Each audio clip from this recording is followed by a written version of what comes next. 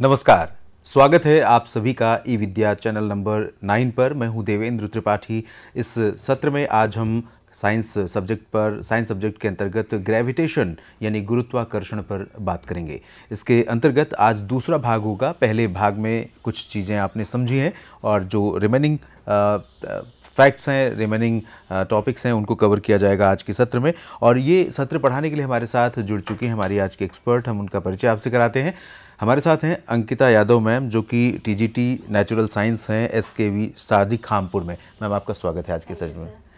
और दर्शकों, जैसा कि आप जानते हैं, इस इंटरेक्टिव लाइव सेशन में आप भी पार्ट बन सकते हैं, आप भी पार्टिसिपेट कर सकते हैं। इसके लिए आपको हमारे फ़ोन नंबर पर लिखना होगा अपना प्रश्न। फ़ोन नंबर नोट कर लीजिए double eight double zero double five double four zero double five nine और साथ ही साथ ईमेल एड्रेस के माध्यम से भी आप अपनी बात हम तक पहुँचा सकते हैं। ईमेल एड्रेस है D T H dot class nine at the rate C I T dot N I C dot I N और आप ये भी जानते हैं कि इस सेशन को आप यूट्यूब पर भी देखते हैं। यूट्यूब पर ये स्ट्रीम लाइव स्ट्रीम नहीं हो रहा है लेकिन बाद में इस रिकॉर्डिंग को आप देख पाएँगे इस सत्र के अंतर्गत जो आपको पाठ पढ़ाया जा रहा है।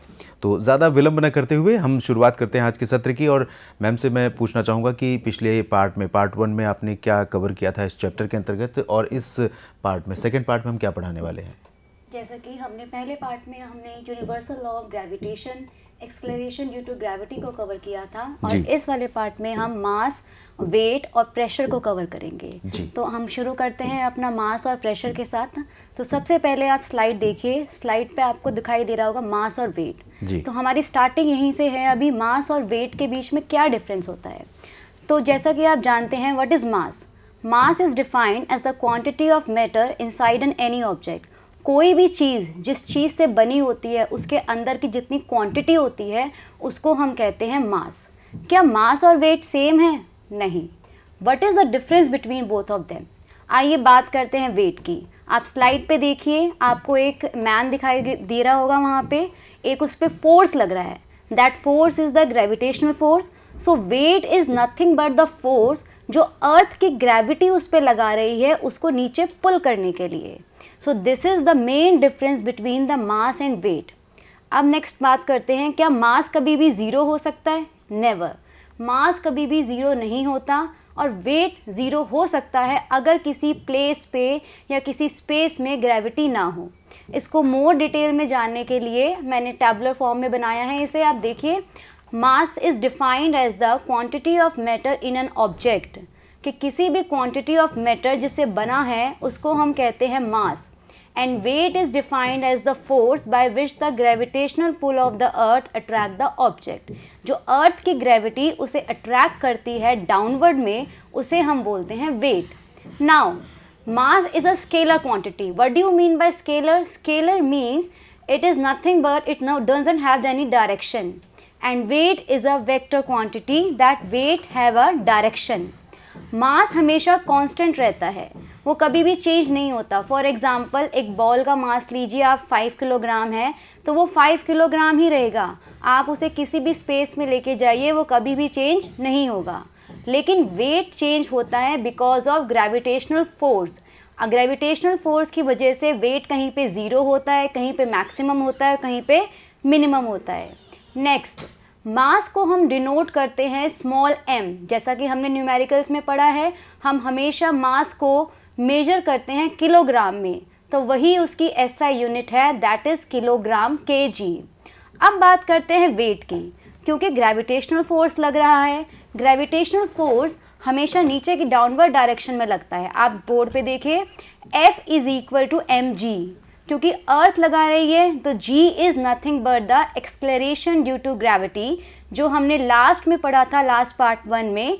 कि इसकी वैल्यू होती है 9.8 मीटर पर सेकंड स्क्वायर और ये पूरे अर्थ पे सेम होती है। क्योंकि यहाँ पे बात हो रही है वेट की और फोर्स की।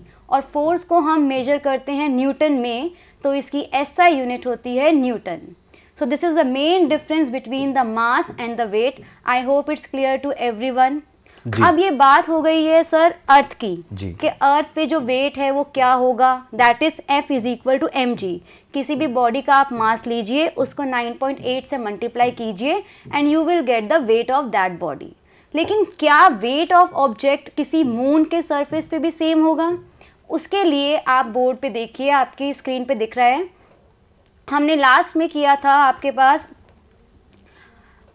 ग्रेविटेशनल फोर्स का फ़र्स्ट वाला एग्ज़ाम्पल डब्ल्यू एम एम यहाँ पे हम डिनोट कर रहे हैं मून के लिए और ई e हम डिनोट कर रहे हैं यहाँ पे अर्थ के लिए। तो यूनिवर्सल लॉ ऑफ़ ग्रेविटेशन का फॉर्मूला लगाया हमने पहले मून के लिए। So W M is equal to G M M M divided by R M by square ये आर मैं आपको बता दूँ it is the radius between the two objects जो हम लास्ट पार्ट में कर चुके हैं। सेम ही हम ई e वाले के लिए लिखेंगे ई इज़ फॉर अर्थ जब दोनों इक्वेशन को हम डिवाइड करेंगे and all the values are given to you आपको ये याद करने की ज़रूरत नहीं है, ये आपकी बुक में ऑलरेडी गिवन है. तो जब आप इन वैल्यूज़ को पुट करते हैं W M divide by W E you will see that it is nothing but equal to one by six यानी मून पे जाके किसी भी बॉडी का वेट अर्थ की वेट से वन बाय सिक्स हो जाएगा. यानी उसका वन बाय सिक्स पार्ट वो मेजर करेगा मून पे जाके। तो ये हमारा फॉर्मूला बन जाता है W M is divide by W E is equal to one by six इसका मतलब ये कि अगर उदाहरण के तौर पर हम आ, किसी साठ किलोग्राम की वस्तु को सर हम वेट की बात कर रहे हैं न्यूटन। जी। तो हम अगर यहाँ पे मेजर करते हैं सपोज़ मैं आपको बताती हूँ यहाँ पे देखिए अगर कोई वेट यहाँ पे डब्ल्यू ई e है सिक्सटी न्यूटन है वो अर्थ के ऊपर। यहाँ पे ई e है हमारा अर्थ। जी। और हमें मून पे निकालना है तो हम अर्थ के वेट को डिवाइड बाय सिक्स कर देंगे। यानी sixty divided by six so it comes out to be ten newton. यानी किसी बॉडी का वेट अगर अर्थ पे 60 न्यूटन है हाँ। तो वो मून पे जाके सिर्फ़ 10 न्यूटन रह जाता है। जी। तो आपको ये फॉर्मूला याद होना चाहिए कि W M is equal to one by six of W E आइए अब आगे बढ़ते हैं। ये तो बात हो गई मास और वेट की। अब हम बात करेंगे थ्रस्ट और प्रेशर के बारे में। थ्रस्ट से पढ़ने से पहले हम बात करते हैं प्रेशर की। जितना फोर्स एक यूनिट एरिया पे लगता है, उसे हम कहते हैं प्रेशर। फॉर एग्ज़ाम्पल ये यहाँ पे मैं प्रेशर लगा रही हूँ तो जितना एरिया ये कवर कर रहा है, यहाँ पे दिखेगा आपको क्लियर? जितना एरिया ये कवर कर रहा है, unit area that is the pressure that is the pressure तो फोर्स जितना एरिया यूनिट एरिया पे लगता है, उसको हम बोलते हैं प्रेशर अब यहाँ पे एक टर्म है ऊपर थ्रस्ट थ्रस्ट का क्या मतलब है? अगर वही फोर्स परपेंडिकुलर डायरेक्शन में, एक डायरेक्शन के साथ आ जाए परपेंडिकुलर डायरेक्शन में लगे तो हम बोलते हैं वो थ्रस्ट है. तो force is same as thrust force और थ्रस्ट में कोई डिफरेंस नहीं है. बोथ आर सेम लेकिन जहाँ पे डायरेक्शन आ जाती है परपेंडिकुलर डायरेक्शन उसे हम बोलते हैं थ्रस्ट तो आप स्लाइड पे देखिए force is defined as pressure is defined as the force per unit area and pressure को हम डिनोट करते हैं कैपिटल पी से. सो so, हम इसको लिख सकते हैं थ्रस्ट बाय एरिया और force by area both are the same things क्योंकि फोर्स की बात हो रही है it is denoted by the F और एरिया हमको पता है कि हम निकालते हैं ए से। सो so, इसकी ऐसा यूनिट बन जाएगी न्यूटन पर मीटर स्क्वायर और इसको बोलते हैं पास्कल या तो आप न्यूटन मीटर पर स्क्वायर लिखिए या फिर आप पास्कल लिखिए both are the same thing अब पेपर में क्वेश्चन आता है what is what is the one pascal अब वन पास्कल को कैसे डिफाइन करते हैं? जब वन न्यूटन फोर्स लगता है वन मीटर स्क्वायर एरिया पे that is called the one pascal I repeat जब वन न्यूटन फोर्स लगता है वन मीटर स्क्वायर एरिया पे that is called the one pascal I hope it's clear to everyone this is the thrust and the pressure अब इसको और understand करेंगे एक diagram के साथ. आप फ़र्स्ट डायग्राम देखिए, यहाँ पे आपको एक नेल दिख रही है और एक थम दिख रहा है. तो प्रेशर लगा रहे हैं और यहाँ पे फॉर्मूला है आपका P is equal to F by A जितना एरिया ज़्यादा होगा, उतना प्रेशर कम होगा। जितना एरिया कम होगा, उतना प्रेशर ज़्यादा होगा। दोनों आपस में इन्वर्सली प्रोपोर्शनल हैं। ठीक है? एरिया बढ़ेगा तो फोर प्रेशर घटेगा। एरिया कम होगा तो प्रेशर बढ़ेगा। अब इसका थोड़ा सा एग्ज़ाम्पल लेते हैं हम डेली लाइफ से। ठीक है? तो फ़र्स्ट एग्ज़ाम्पल है आपके पास स्क्रीन पे। आपने घर में देखा होगा कि आपके पास नाइफ्स होती हैं। उनकी शार्प एजेस होती है। वो शार्प एजेस किस लिए होती हैं? कि ताकि स्मॉल एरिया पे लार्ज फोर्स लगा के और उसी कटिंग को हम इजीली कर सके। This is the first example now second example की तरफ़ चलते हैं हम। सेकेंड एग्ज़ाम्पल में आपने देखा होगा कि स्कूल बैग्स हैं। स्कूल बैग्स की जो स्ट्रेप्स होती हैं, वो जो बहुत ही वाइड होती है। कभी भी वो थिन नहीं होती वाइड में होती है। वाई उन, ताकि वहाँ पे जो प्रेशर है, बच्चों के शोल्डर पे कम लगे एरिया को सरफेस एरियन कॉन्टैक्ट को इंक्रीज करके। जितना ज़्यादा एरिया होगा, उतना ही प्रेशर बच्चों के शोल्डर्स पे कम होगा। क्योंकि हमने पीछे पढ़ा है अभी कि pressure is inversely proportional to the area तो जितना ज़्यादा आपका एरिया होगा, उतना ही प्रेशर कम पड़ेगा। अब लास्ट एग्ज़ाम्पल हम लेते हैं नेल का। आपने नेल देखा होगा नेल की जो पॉइंट होती है वो बहुत ही शार्प होती है, बहुत ही कम एरिया होता है। उसकी टिप जो है बहुत शार्प इसलिए बनाई जाती है ताकि वो ईजिली डाइव कर जाए सरफेस के अंदर। By making the area small the pressure will be more so these are the few examples from the daily life we use the thrust and the pressure so I hope it's clear to everyone अब ये हम बात कर रहे हैं यहाँ पे solid के बारे में, कि सॉलिड प्रेशर लगा रहा है सॉलिड में थ्रस्ट है फोर्स है तो क्या फ्लूड जिसमें हम गैस और लिक्विड को इंक्लूड करते हैं, क्या वो भी प्रेशर लगाती हैं? येस ऑफ़ कोर्स जिस सरफेस पे वो होती हैं और जहाँ कंटेनर में रखा जाता है, उसके प्रेश वॉल्स पे वो हमेशा एक प्रेशर लगाती हैं। इसको समझते हैं, आइए आगे। ना इसको समझने से पहले आप ये देखिए कि हमारे पास एक बॉयंट फोर्स आपको दिख रहा होगा वहाँ पे। कुछ चीज़ें फ्लोट कर रही हैं, कुछ चीज़ें सिंक कर रही हैं। So let us understand by taking an example आप एक ग्लास ऑफ़ वाटर लीजिए, उसमें आप एक कैप डालिए। कैप जो है वो आपकी फ्लोट करेगी, वो कभी भी सिंक नहीं करेगी। और सेम चीज़ के लिए आप एक बॉल लीजिए हैवी वेट की, और उसको डालिए। Now it will goes down ये सिंक कर गई। ऐसा क्यों हुआ? ग्रेविटेशनल पुल तो नीचे था, ठीक है तो बॉल को नीचे उसने खींच लिया, लेकिन कैप को उसने क्यों नहीं नीचे पुल किया? ऐसा किस लिए हुआ कि वो जो बॉल थी वो नीचे रह गई और जो आपकी कैप है वो ऊपर रह गई? ऐसा इसलिए हुआ क्योंकि प्रेशर लग रहा है, यहाँ पे फ्लूड यानी पानी भी अपना एक प्रेशर लगा रहा है, एक फोर्स लगा रहा है, जिसको हम कहते हैं बायंड फोर्स और वो फोर्स हमेशा लगता है अपवर्ड डायरेक्शन में। जब पानी डायरेक्शन ऊपर होती है तो अपवर्ड डायरेक्शन में लगता है that is called the buoyant force और हम पढ़ चुके हैं कि ग्रेविटेशनल फोर्स हमेशा कहाँ लगता है? नीचे की तरफ़। अब इसमें भी दो केस हैं। स्क्रीन पे आपकी पीपीटी में देखिए कि जब भी आपका बायन फोर्स ज़्यादा होता है as compare to gravitational force तो चीज़ें फ्लोट करती हैं, जैसा कि इस केस में हो रहा है। ठीक है? यहाँ पे आपका जो ये कॉर्क है, ये फ्लोट क्यों कर रहा है? क्योंकि यहाँ पे बायन फोर्स ज़्यादा है as compare to gravitational force लेकिन बॉल के केस में क्या हो रहा है? ये सिंक कर गई, क्योंकि यहाँ पे ग्रेविटेशनल फोर्स ज़्यादा है as compare to buoyant force तो बायन फोर्स कम है और ग्रेविटेशनल फोर्स ज़्यादा है तो ये इसको नीचे की तरफ़ पुल करेगा और ये सिंक कर जाएगी। अब कुछ चीज़ें होती हैं जो ना तो सिंक करती हैं और ना फ्लोट करती हैं वो बीच में रह जाती हैं। ऐसा इसलिए होता है कि जब ग्रेविटेशनल फोर्स और बायन फोर्स आपस में सेम हो जाते हैं इक्वल हो जाते हैं उस टाइम पे ना तो चीज़ें फ्लोट करती हैं और ना ही सिंक करती हैं। Now we go back to the PPT जी इसका, इसका कोई एग्जांपल हम ले सकते हैं? Sir I have taken the example of this जो बॉल में रह जाती हैं। हाँ ball tennis ball you can take the example of tennis ball जब आप उसको पुट करेंगे आप देखेंगे कि वो हाफ़ मर्ज है और हाफ़ वो डिप है। Okay. आप घर पे ज़रूर करके देखिएगा आपको कुछ चीज़ें ज़रूर फाइंड होंगी जो आधी डिप होती हैं और आधी मर्ज हो जाती हैं।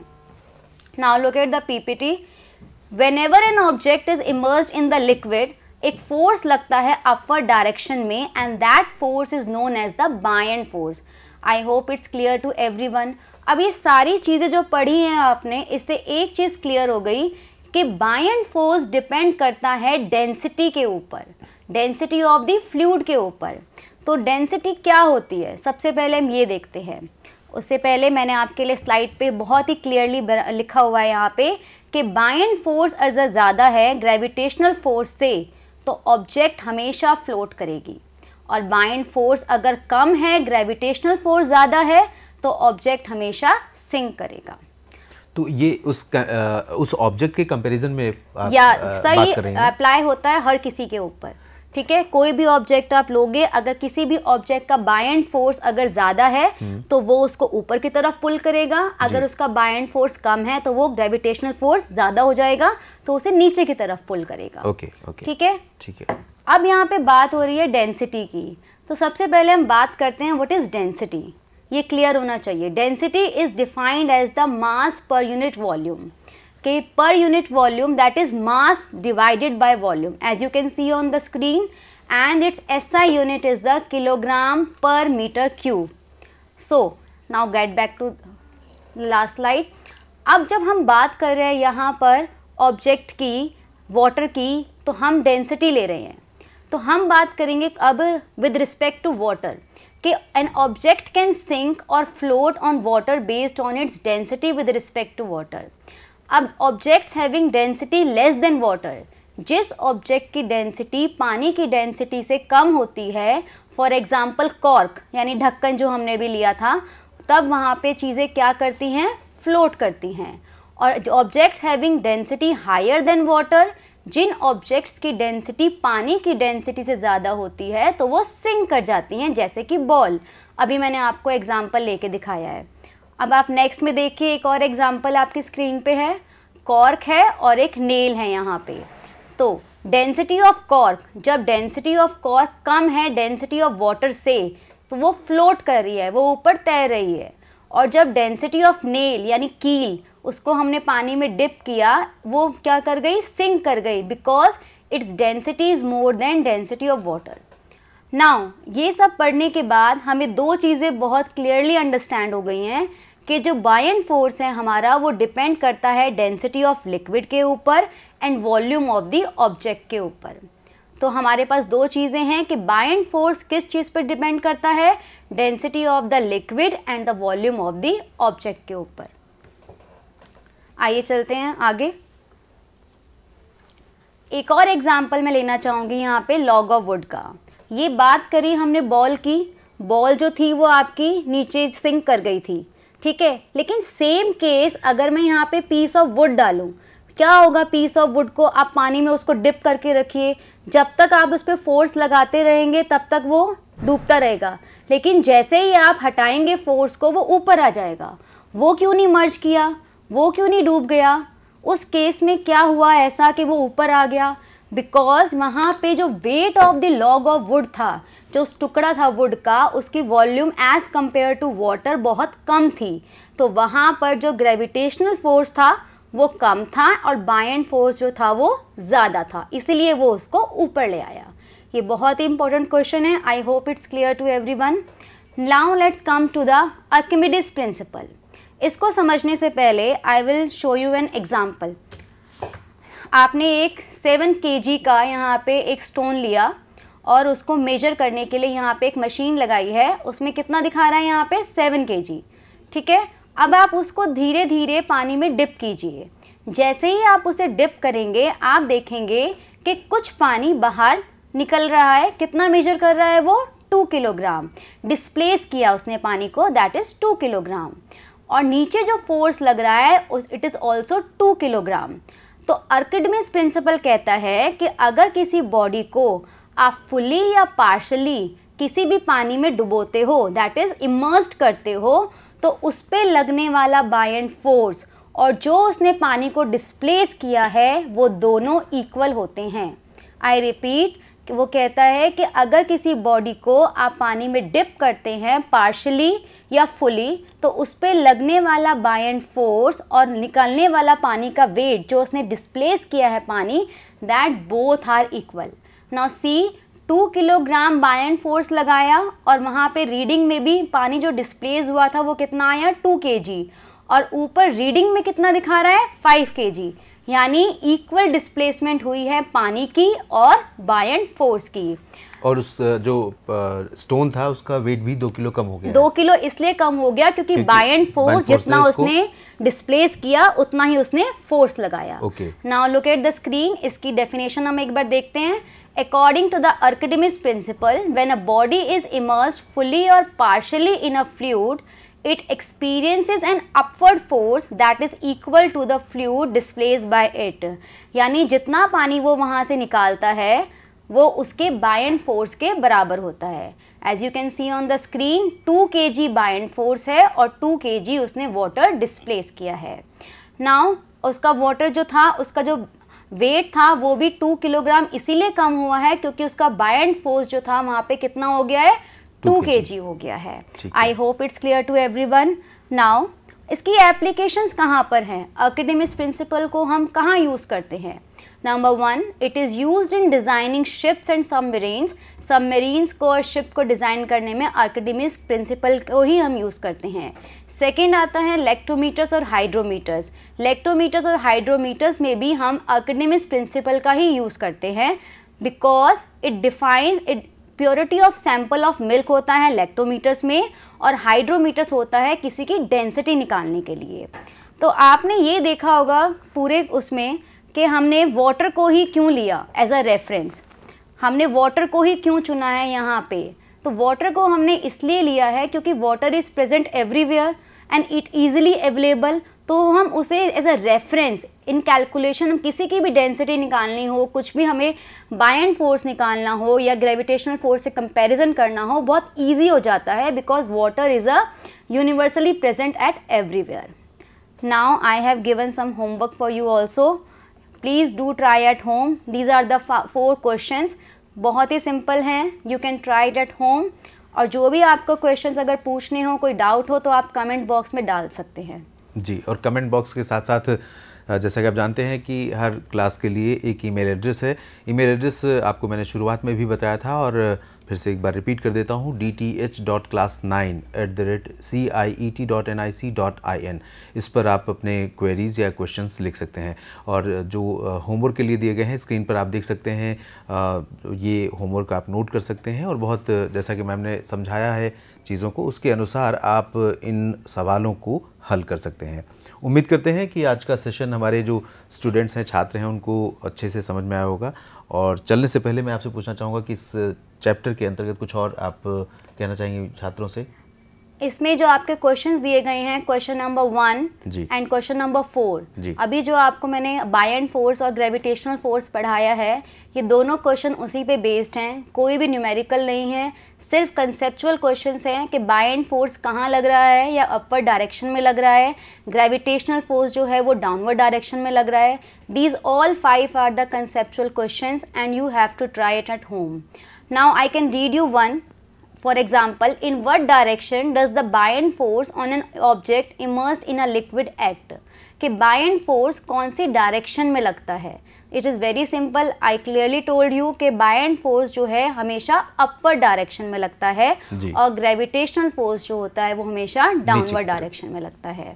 So next question number two and three and four जो है आप please do try at home please write it down and uh, कुछ भी क्वेरी हो तो आप कमेंट सेक्शन में डाल सकते हैं। जी और ग्रेविटेशनल uh, फोर्स और बैंड फोर्स के बारे में जिस तरह से बॉल और uh, उसके कैप uh, का आपने एग्जांपल दिया था उससे मुझे लगता है कि अपवर्ड डाउनवर्ड का मतलब समझ आप घर पे भी ट्राई कीजिएगा एक हॉलो बॉल लीजिएगा और एक बिल्कुल हैवी बॉल लीजिएगा आपको क्लियर होगा डिफरेंस कि हॉलो बॉल जो होगी वो आपकी फ्लोट करेगी और हैवी बॉल जो होगी वो आपकी डाउनवर्ड डायरेक्शन में सिंक कर, जाएगी। सो so, कुछ चीज़ें फ्लोट करेंगी और कुछ चीज़ें सिंक करेंगी। और टेनिस बॉल बीच में टेनिस बॉल हाँ उसका एग्ज़ाम्पल बहुत ज़रूरी है। आप ज़रूर ट्राई कीजिएगा। टेनिस बॉल लीजिएगा। वो हमेशा ना वो फ्लोट करेगी और ना वो सिंक करेगी बिकॉज़ माइंड फोर्स और ग्रेविटेशनल फोर्स जो है वो हमेशा इक्वल रहता है। इक्वल रिस्पॉन्स करते हैं उसके लिए। चलिए। तो उम्मीद करते हैं आ, हमारे जो नाइन्थ क्लास के स्टूडेंट्स हैं उनके लिए आज का जो चैप्टर था वो अच्छा अच्छा रहा होगा और उनको ग्रेविटेशनल फोर्स या फिर मास और डेंसिटी इन सब चीज़ें के इन सब फैक्चुअल साइंटिफिक चीज़ों के बारे में समझ में आया होगा और प्रैक्टिस भी करेंगे और सवालों को हल भी करेंगे। अंकिता यादव मैम आपका बहुत बहुत धन्यवाद। हमारे साथ जुड़ने के लिए और हमारे स्टूडेंट्स के साथ इस चैप्टर को शेयर करने के लिए और उन्हें पढ़ाने के लिए। और दर्शकों आप सभी का भी बहुत बहुत धन्यवाद। इस सेशन को आप लाइव नहीं देख पाए हैं लेकिन बाद में आप देखेंगे यूट्यूब पर एन ऑफिशियल और उम्मीद करते हैं कि आपको ये ठीक लगा होगा कमेंट बॉक्स में आप अपनी प्रतिक्रिया इस सत्र के बारे में ज़रूर दीजिए। बने रहिए लगातार ई विद्या चैनल के साथ। ई विद्या के साथ अगला जो कार्यक्रम होगा वो क्लास नाइन्थ के लिए ही है और इसमें मैथ्स पढ़ाई जाएगी और मैथ्स के अंतर्गत क्वाड्रेटिक इक्वेशन इसका भी दूसरा भाग आज आप पढ़ेंगे। अब दीजिए मुझे, यानी देवेंद्र त्रिपाठी को अनुमति। इस सत्र को समाप्त करने की। नमस्कार।